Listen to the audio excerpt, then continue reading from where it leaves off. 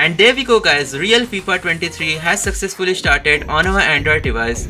Yo what's up guys, this is ApTreX here. Today I'll be showing you guys the best method to play the original FIFA 2023 game on your Android devices easily. It's going to be easier than the previous method which I told you guys 6 months ago. So before starting let me talk about minimum requirements. Snapdragon 855 processor or above, also 6GB of RAM, these are the minimum requirements to emulate the original FIFA 2023. By the way, comment down below what is your favorite football club. I heard that Messi is joining some sort of club in America which is pretty disappointing because Americans call football soccer man like that is completely disrespectful so comment down below your thoughts. With that being said let's get started through today's video. This is going to be the easiest method to play FIFA 23 on Android as we'll be emulating this game legally with the help of Yuzu emulator Android. So first of all what you have to do is just go ahead and open Play Store and search for Yuzu emulator. Afterwards you will get this emulator right here which is currently in early access. So this is a Nintendo Switch emulator for Android. It is even better than the EggNS emulator and its changelog is fixes incorrect render resolution that causes blurriness, fixes layout issues on foldable devices, includes the latest changes from upstream Yuzu. After you have loaded the Yuzu emulator from Play Store on your Android device, the next step is to dump your FIFA 23 game on your Android device. So right here in the games folder, I have pasted the EA Sports FIFA 23 Legacy Edition NSP file format which is around 13.5 GB. So this is the game file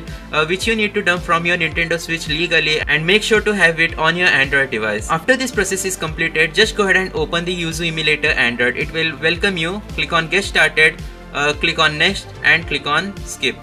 Afterwards it will ask you to import keys so you can just go ahead and tap on select keys and select the product keys which you have dumped from your Nintendo Switch Afterwards it will say key successfully loaded. Then click on next. Afterwards we'll have to select the folder where we stored our FIFA 23 game file as I showed you guys before. So just go ahead and tap on add games. Select the games folder, click on use this folder and allow it access. Then click on next and we are all set guys. That's how simple it is. But we'll need to apply some best settings to make sure that this game runs flawlessly. So we'll just go ahead and tap on continue and there we go our FIFA 23 Legacy Edition is being shown on the Yuzu emulator Android. Let's open settings. Afterwards you have to go to advanced settings. Then go to general. Make sure to disable the limit speed percentage option. CPU accuracy should be auto. Now let's go back. Let's go to graphics. Accuracy level is set to normal. Resolution you can keep it at 0.5x if you have an low-end device but as the device which I am using in today's video has Snapdragon 8 Gen 2 processor I'll be keeping the resolution scaling at 1x. Uh, you can go all the way up to 8k emulation but uh, that's pretty crazy we won't even talk about it. So let's scroll down VSync mode has been disabled anti-aliasing method is set to none. Aspect ratio click on stretch to window then disk shader cache should be enabled along with force maximum clocks. Also enable asynchronous shaders and you are all set with the best settings uh, for FIFA 23. By the way, I forgot to mention that for Yuzu emulator you need minimum Android version 11 or above or else it won't be shown on Play Store. Now let's get back to playing this game. So after you have set up everything uh, and applied the best settings, all you have to do is tap on the game's icon and wait for a few seconds. Now there is another additional setting which I'd like to show you guys and as you just saw EA Sports FIFA 2023 has loaded on our Android device. So just swipe from left, afterwards go to overlays option, click on FPS counter, make sure to enable this option and at the top left corner it will show you guys the amount of FPS that you are getting. Right now I am getting over 280 frames per second but once the game starts it will decrease up to like uh, 60 frames per second or so.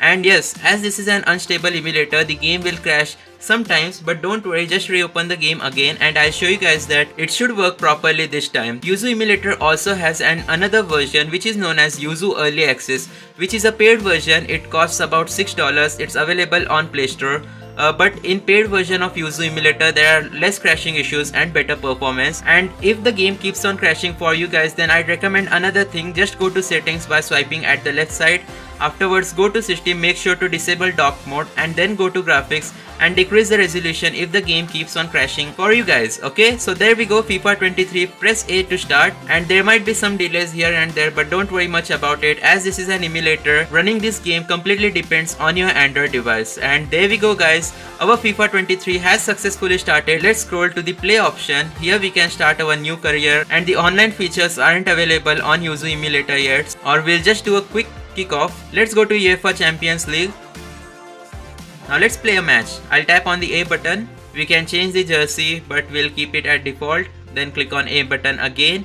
Let's click on play match and our match should successfully. So that's going to be it for today's video. Thanks for watching. Make sure to hit that like button, subscribe as I'll be uploading similar videos on my channel. See you guys next time. Goodbye.